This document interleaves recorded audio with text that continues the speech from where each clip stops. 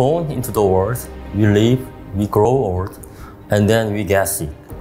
I believe aging is a disease, which means it is something that we should fight.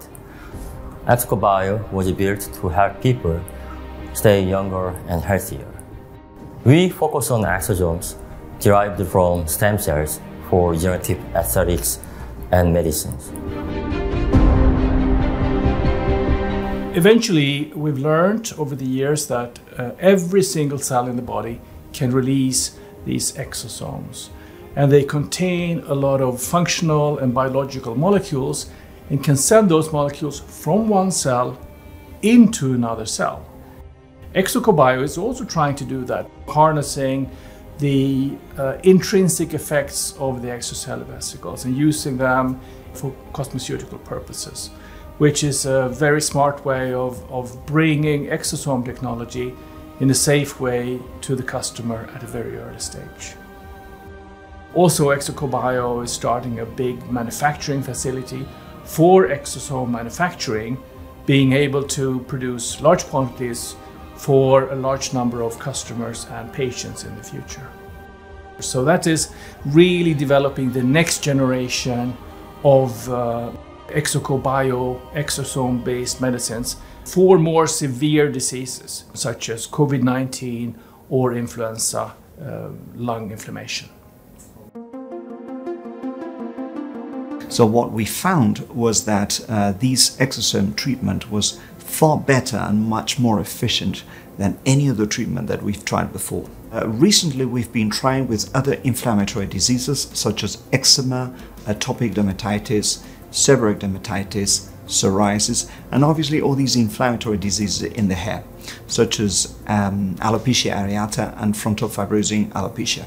And we realized that the growth of hair of exosomes was about three times larger than with any of the other treatments. What really surprises us is the speed at which uh, patients heal. They heal and improve very, very quickly. And it is surprising how many doctors are really trying to know more about exosomes. And I think that we are at the start of a new era because this is really going to change completely the spectrum of uh, treatments for different problems. After six years, with $50 million of investment in research, we developed lyophilized purified exosomes and built the world's largest GMP facility for mass producing these exosomes for everyone's future. When we first started using exosomes, I just started on using it for burns, topical healing, accelerating the healing time of people who had had, say, ablative laser, etc. And it worked very, very well. I even recently had a patient who is in her 70s she had had unremitting shingles with open sores for three months. I gave her some exosome balm and they were all healed up in a week. And she had no more pain. As soon as we applied the exosomes, the pain was gone. It, it was amazing that it didn't burn. My skin was not burning. If it's affordable for the physicians, then it's more affordable for the patients, and they get you know, the positive experience of having exosomes for everything for improvement of wound healing, reduction of scarring, acne scarring, active acne, atopic dermatitis, and of course, regenerative purposes. I think targeted exosomes are really the future. I think tissue engineering has a great place in the future, and Mr. Cho talked about that today at his new Exocobio lab. The most important mission for Exobio to develop proprietary technologies based on exosome, engineered exosome or native exosome.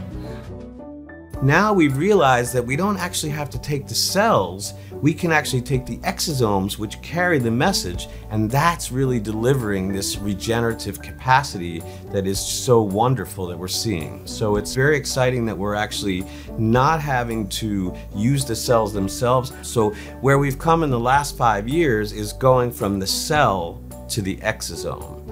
Where we'll go in the next five years, I would say probably towards programmed exosomes. With our expertise in CRISPR and genetic um, science and then being able to direct those mesenchymal stem cells to produce exosomes for a particular function or to develop a particular tissue. We were the first to discover that MSC secrete exosomes, and these exosomes was the active agent. And so uh, that was back in 2008, and since then, I've just been focusing on exosomes, the biology, how to purify, and how to use it. So Bjorn Cho, um, he came to Singapore to talk about exosomes. I was very surprised. That was way back before he started ExoCoBio and he wanted to know more about my technology. He's always doing something very exciting. And so I got to know him, and then the next thing I know, he set up this company, ExoCoBio. Bio is probably the only exosome company that has built a GMP facility for the purpose of manufacture their own product because most exosome company do not have manufacturing facility, and that is a major handicap. Exocore is trying to, to solve the problems of mankind with innovative technologies and forward-thinking global partners around the world.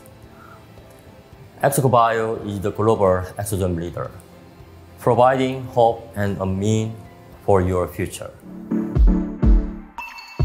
ExoCoBio. Our exosomes, your future.